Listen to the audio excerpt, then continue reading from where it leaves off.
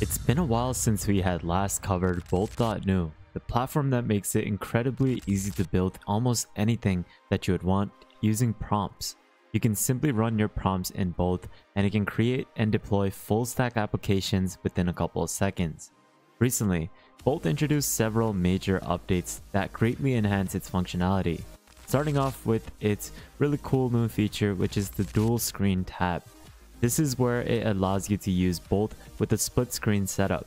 This is perfect for multitasking and it provides a better understanding of how your app will look when it's actually deployed.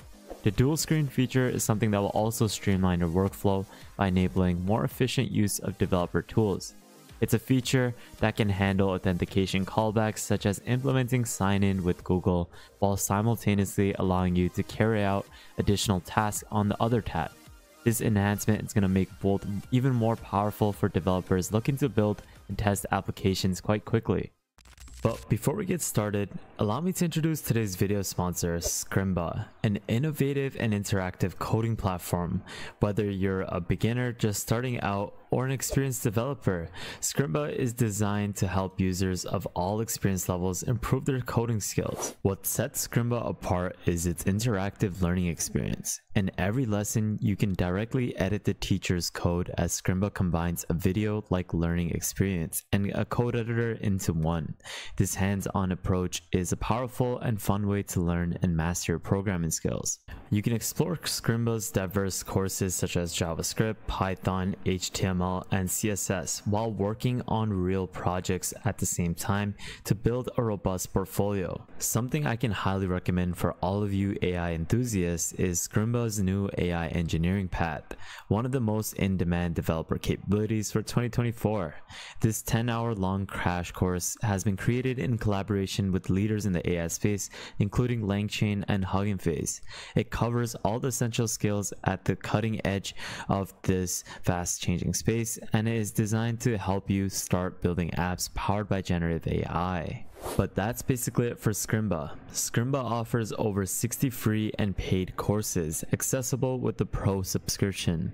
Use my link in the description below to get an additional 30% off for the Pro plans. Now, this isn't a completely new feature, but it's something that I covered around a couple weeks ago which is where Bolt.new has now integrated Supabase. Now I have a full video that explores this further in detail, but essentially with this new Supabase integration within Bolt.new, you can easily have a field connected within the web app itself and you can easily connect it to Supabase, which is going to allow you for authentication, going to enable database and file storage, which is where it can easily simplify the development process of a full stack app and it's going to basically allow you to easily set up these different things like a user login system or managing different types of database. You also have the ability to handle file storage all within this smooth user-friendly integration with Supabase.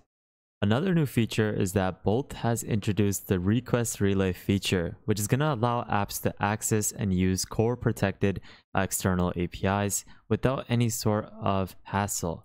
It's an effort that will remove common cross-origin restrictions. So it's going to make it easier for you to easily integrate these powerful external APIs within your web development process. So it's going to make this whole process a bit easier for you without people needing to implement APIs on their own.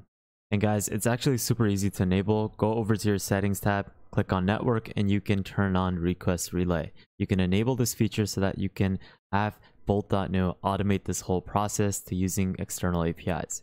Aside from all of those different updates, there is a new update to Bolt.diy, which is another project under the wing of StackBlitz's Bolt.new.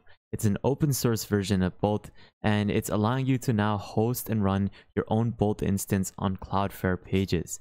So this is where this is a pretty big update that will also let you use any model of your choice and it's going to give you more flexibility and more features that you wouldn't see with the original Bolt model.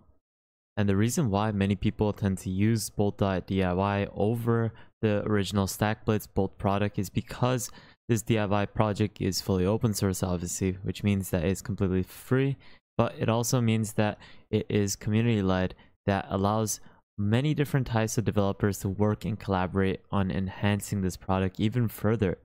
There's a lot more uh, features that you wouldn't see with the original Bolt product.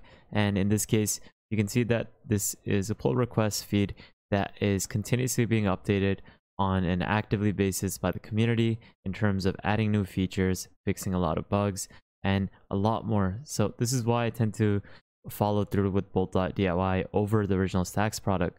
Now in my last run, as in my last video, I had basically created this full stack application where I had connected Supabase to create an auth system. So we're going to go ahead and sign in.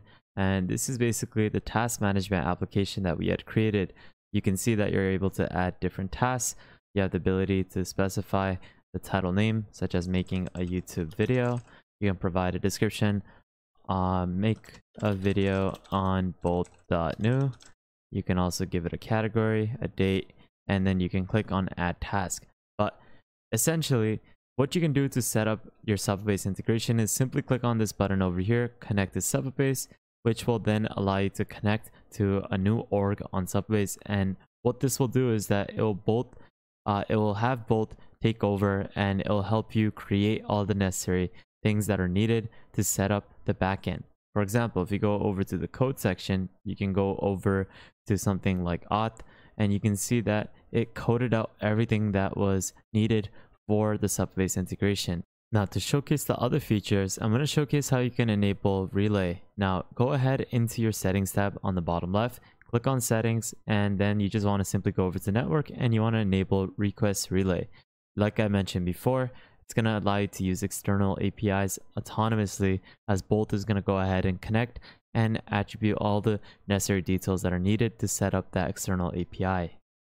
Now to showcase the dual screen tab feature, what you can do is head over to Bolt, head over to the preview section and click on open preview in a separate tab. This will make you connect to your project, but essentially once you have connected this, you're going to get a full view of your app that you're building exactly as it would be appeared in a full tab preview.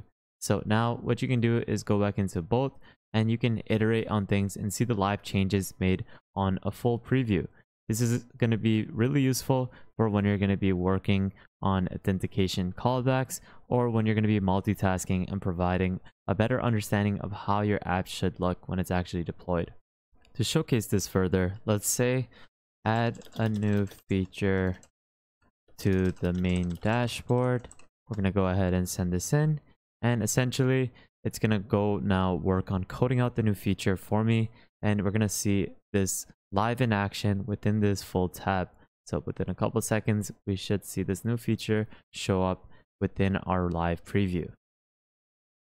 And there we go. We have a live preview of this new feature being added where it showcases the completed, due soon, urgent, and completion rate of our tasks. This is the new feature of a live preview with this dual screen tab that we saw being introduced by Bolt today.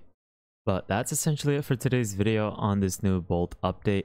I'm going to definitely keep you guys posted on the new advancements that are coming to both of the products, the DIY project, which is the open source product of StackBlitz, as well as this new Bolt.new updated project. So I'll leave all these links in the description below so that you can easily get started. But that's basically it guys. Thank you guys so much for watching. Make sure you follow me on the Patreon so that you can get uh, all the new AI tools completely for free on a monthly basis. Make sure you follow me on Twitter.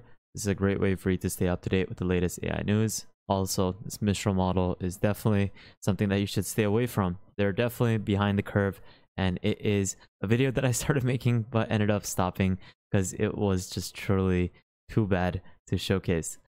And lastly, make sure you guys subscribe, turn on notification bell, like this video, and please take a look at our previous content because there's a lot of content that you will definitely benefit from. But with that thought, guys, thank you guys so much for watching. Have an amazing day, spread positivity, and I'll see you guys fairly shortly. Peace out, fellas.